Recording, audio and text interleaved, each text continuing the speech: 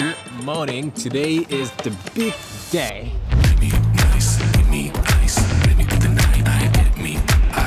I am attending Interbee 2023, and the important thing is, as the host, SmallRig. I mean, uh, some sort of influencer position, some kind of stuff. Oh, today is cold.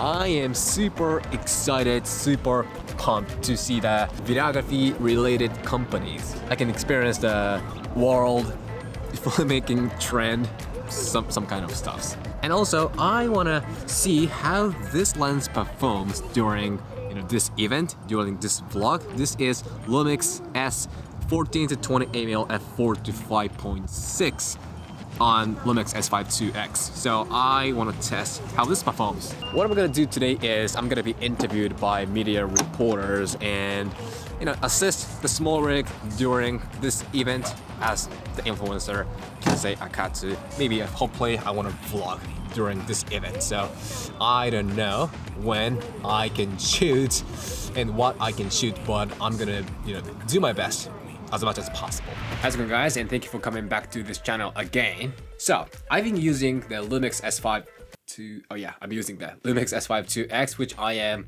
using right now. I'm renting this from Lumix and I am using this a lot for vlogging, traveling, and client shooting works. Every time I bring this Lumix S5 2X out. And when that, I'm using this Lumix S14 to 28mm f4 to 5.6 most. Because look at this size. It's so small and it's light but this has super wide 14 to the natural focal length 28mm this works so amazing in all scenarios in all you know situations locations.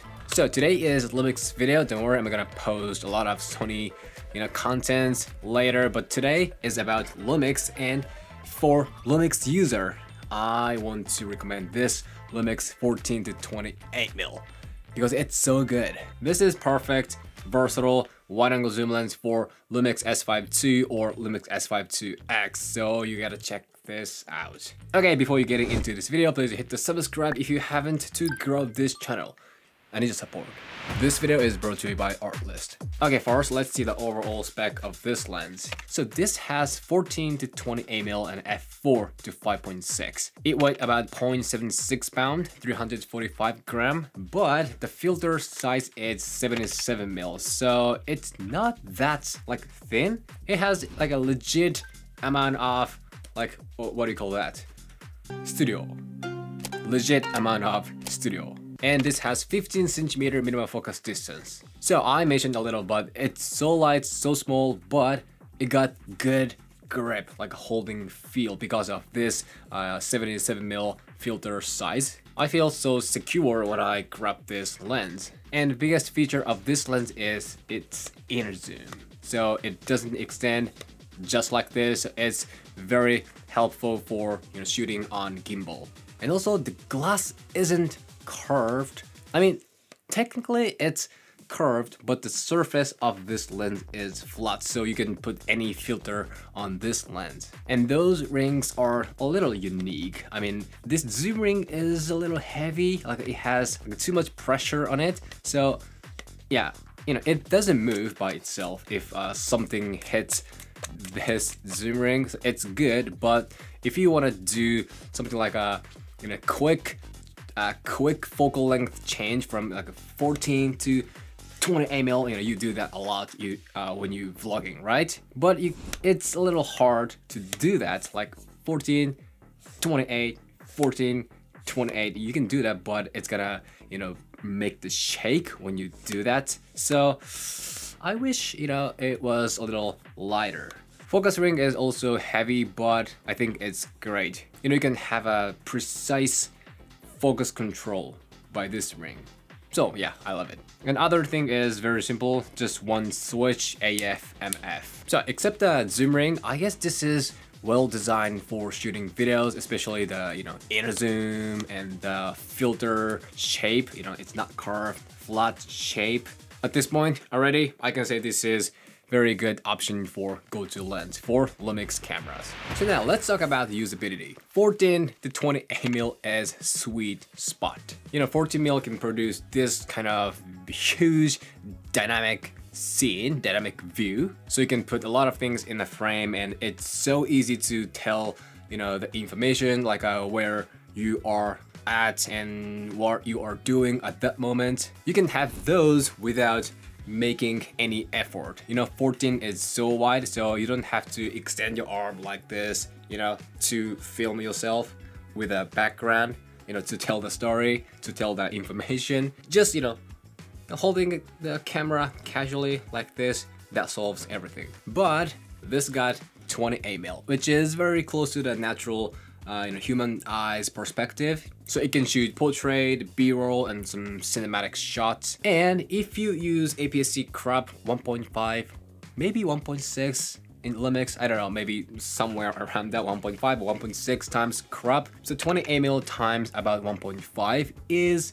about 42 mil. So technically, this has 14 to 42 mil. You know, you can cover the telephoto side with that APS-C crop mode, but you, you can't have wider focal length than that lens already has. So that's why I said 14 to 20 mm is sweet spot. But the biggest cons of this lens is that the aperture changes when you change the focal length. So it changes like when it's 14 mil, it's f4, and when it's uh, 18 mil, it's gonna be f 4.5 and when it's 24 mil it's f5 28 mil 5.6 so eventually you're gonna have to use f5.6 at 28 mil. So maybe you are worrying about the bokeh, right? But if you use 28 mil on APS-C crop mode and f5.6, you can have this amount of bokeh. Don't you think it's enough as the wide angle zoom lens? And like I said, this has 15 centimeter minimum focus distance, so if you get close to the subject, you can have this melting uh, background bokeh world. Also, the big detail is available like this. So this can be the super wide angle lens and a tight lens depending on how you shoot. This works amazingly in many different situations and locations. Not only light and small, the usability is on fire. Okay now let's talk about the image quality. So when it comes to the wide angle zoom lens, those two things come together distortion and vignette. So about distortion, it's very close to the natural look. Lines are straight, not curved weirdly, just you know wide angle look.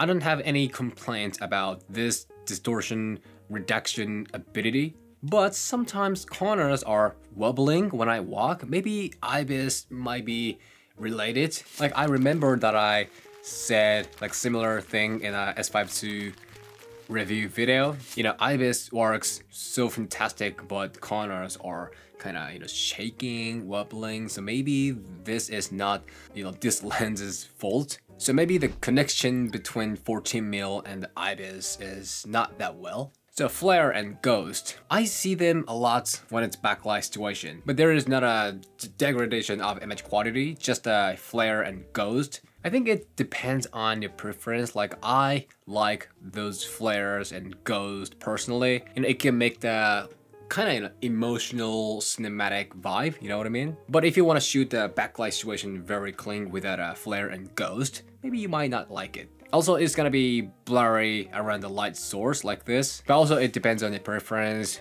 Me, personally, I like it.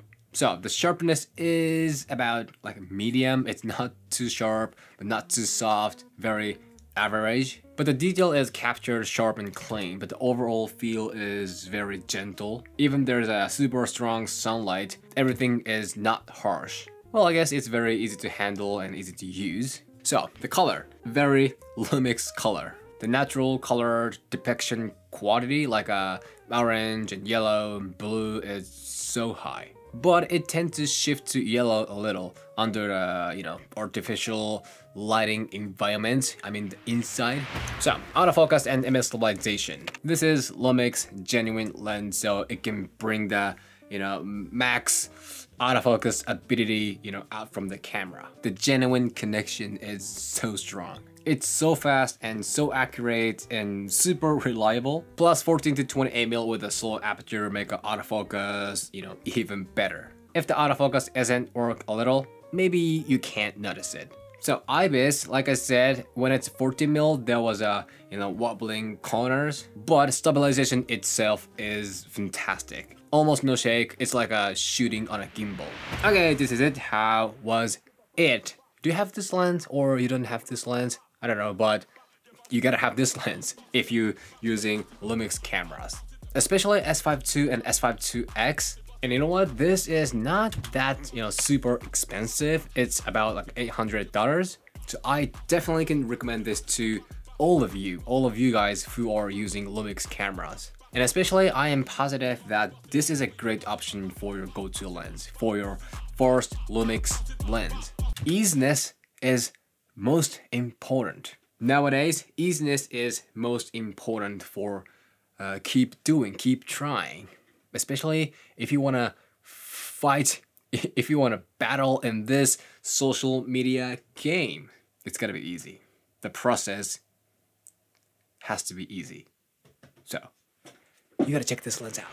Okay, this is it. If you have any question, just shoot me anytime, anywhere. And if you like this video, show me a thumb and hit the subscribe. Also, you gotta check the Lumix cameras and lenses. I'm gonna you know, put the link in the below. But this is not sponsored by Lumix. Don't worry. I will see you in the next video. じゃあまた。